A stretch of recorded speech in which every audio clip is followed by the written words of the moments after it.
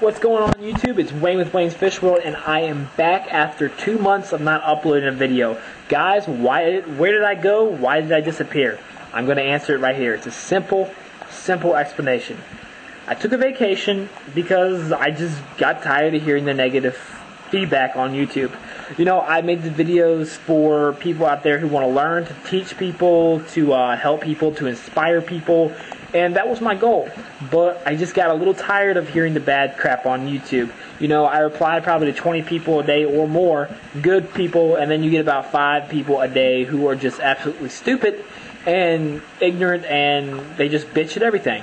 Uh, it doesn't matter who you are, what you do. They're either they're jealous of you or they don't like you personally or they just got nothing else better to do than bitch. And excuse my French, but that's just the truth. And I got tired of hearing it. I got child, tired of hearing childish crap over YouTube because you can't watch a single fish video without scrolling down to the comments and either seeing, you know, this person's stupid, this person's gay, this person's retarded, you're stupid because you don't have the most high tech lights and you're inferior to me. You know, that stuff gets old real quick and I just need to take a little breather from it. But guys, I'm back, not going anywhere. Like I said, uh, not going anywhere. And I want to come back at you guys today and talk about refugiums and this is the latest thing I've upgraded on my saltwater tank, so why not talk about what I just did yesterday? Uh, let's dive right in, guys. So basically, I took off the uh, clamp-on light with the compact fluorescent, which absolutely did almost nothing to my uh, ma- uh, macroalgae in the refugium. And I took off the heat lamp fixture, which I used to raise ducks, chickens, geese, whatever, and I clamped it on here. And I'm going to add some screws on that brace, that way it doesn't slide off. And I also put some zip ties together just to make sure in case this thing ever does slide off, the zip ties are going to catch it and it can't go into the water, electrocuting my fish, maybe catching a fire, and God knows what. So, isn't it kind of scary how much shit we put around our tanks that are electrical? I don't even want to think about that. But uh, basically, what I did is I took the bulb and I replaced that too, and I got this. You guys can find this thing at Lowe's. It's a uh, what is this? 15 watt 15 watt equivalent to 55 watt 5000 K LED light, 800 lumens, and it's got a uh, 38 degree beam coming out of it. What that means is, you know, 180, 180 degrees is a straight line, 360 is a circle. This has 38 degrees coming down, and you can kind of actually see the light in that 38 degree sense. Um, these great thing about these lights are, you know, you run this thing three hours a day for what was it, a year, and it'll cost you a dollar eighty-one. That's not bad at all. If you run this thing three hours a day, it'll last you 27.4 years. That's crazy. It might cost you a lot up front, but long term energy bills, this thing is going to save you a lifetime. You don't have to replace bulbs. You don't. I mean, it's great. So I put this thing on my saltwater refugium because I use it on my 125, and you guys can see that the plants are actually just going nuts. Uh, plants come out of the water to grow. It, it sometimes, you know, if I trim it up, it'll look good, really, really good for one minute, and then it'll be overgrown, and it's like, oh my god, what in the world is going on? You know, then you got to fix it because some plants have overgrown and they've smothered other plants.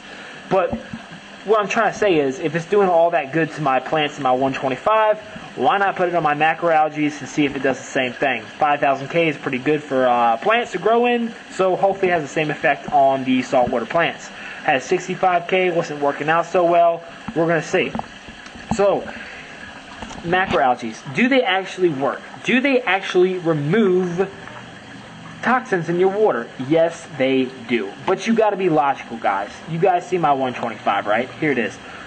You have to have a certain balance point. You have to have a certain amount of fish with a certain amount of fish. I mean, a certain amount of fish with a certain amount of plants to actually have nitrates and phosphates being removed from your system. Now, plants will remove nitrates and phosphates. It's one of the elements they eat to thrive. Nitrates will give the plant stem and leaf growth uh, phosphates will help the roots grow. Phosphates will actually stay in the soil longer too, but uh, that's a different story. Long, ter- uh, long story short, they do absorb nitrates and phosphates, but you have to have a lot of plants for a lot of bio load you have. Um, some saltwater threads, they'll say 70% of your water volume to be your refugium in order to remove all nitrates from your system. Now, is that true? No, it's not true because how much fish do you have in your tank? How much corals do you have in your tank? How much are you feeding? You know, there are many variables in that. So something like that is just a rule of thumb, like one inch per one inch of fish per gallon of water. It's just a rule of thumb. So you can't really go by that. It's just a guideline to help you out. So is that enough macroalgae to remove nitrates in my system? No, it's not. Um, that's why I have a couple legs to the table, and I preach that a lot in my videos. You have to have three legs or more to a table to hold it up.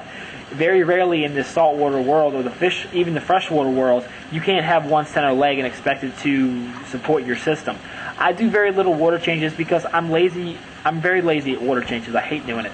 Um, it's just it's boring. I don't like doing it. I'm not gonna lie. I'm not. You know, it's boring. Uh, so I get around that by supplementing nutrients to my tank, like Bionic and stuff, etc., vitamins, whatever. And basically, I remove nitrates and phosphates through a couple different ways: a deep sand bed, macroalgae, uh, a denitrator, which I just made, which is the same thing as a uh, deep sand bed, just add an extra little kick. Overkill on a protein skimmer, and ChemiPure Elite. I love ChemiPure Elite. Uh, it's going to help, but don't take advantage of it. Also, I'm about to add a canister filter with UV light on this thing, and I'm also going to add another canister filter just for uh, extra mechanical filtration. That way, no debris is going up into my main system. Uh, you may ask, what, what in the world is that trash can doing in my tank? Got lazy, Micron sock broke. I took the stuff you find at Walmart for like pillow fabric, polyester fabric, whatever. Dropped it in there. It's removing debris. It's easier to clean than a micron sock. You take it out, you can wash it out, or you can throw it away. Either way, it's still working. And it's cheaper than micron sock. It might look ugly, but it's under the sump. You won't be able to see it. So I don't care. I want the display to look nice, not the sump. I mean, the sump, it's okay to make your sump look nice too, but if it's cheap and it gets the job done, why not? That's the main purpose of DIY, right? Um, so, guys, yes, macroalgae will work. Will it hang on the back ma- refugium work on your tank? I'm just going to come out and say no because it's just it's not likely. You would have to have a very, very, very, very, very, very, very, very low bio load in your system for a small little hang on the back refugium to work. Now, don't get me get me wrong it might actually work. But no two systems are the same. But let's say 99.9% of the time, your hang on the back refugium is only going to help. It's not going to remove nitrates and phosphates fully. It's going to help, but it's not going to, you know, fully remove nitrates and phosphates. So, how can you actually get nitrates and phosphates out of your system if you don't have a refugium, or if you have a refugium and you still got nitrates and phosphate? Well, you could think about adding a deep sand bed. Here's the downside of deep sand beds. They're kind of expensive. Uh, it takes time to mature and you can have anaerobic bacteria with uh, dead spots, and that leads to sulfuric acid, and that gets disturbed. You can say bye bye fish. Um, it's scary, yes, it is, but if you do it, it's not that scary. Bottom line, you don't want to disturb it. Um, you want to have live organisms in there, like bristle worms, pods, and etc., working your deep sand bed. That way, it doesn't go bad. Uh, you can have a denitrifier overkilling your protein skimmer. That way it takes the organics in your system and drives it out before it goes into the nitrogen cycle and it turns into an N factor of nitrates. Um, water changes. Water changes your best friend because, yeah, I'm lazy to it, so I can't, you know, I'm hypocritical, but at least I can tell you what's good, right? Water changes are going to promote fish growth, coral growth. It replaces nutrients in your water like vitamins, uh, elements that are crucial for growth, like I said, and health of your fish and corals and invertebrates. So, water changes are the best way to do it, guys. Refugiums, deep sand beds, nit- denitrators, uh, reactors. Water, I said water changes.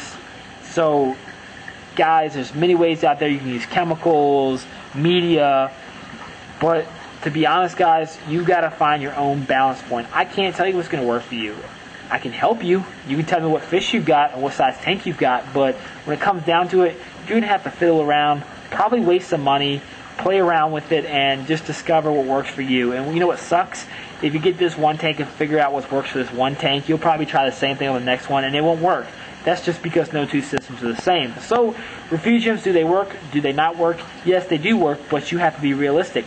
You can't have, you know, a grouper in there, a lionfish, a moray eel, a bunch of tangs, and expect this one little clump of macroalgae the size of your fist to take out all the nitrates and phosphate in your tanks. It's just not going to happen, guys.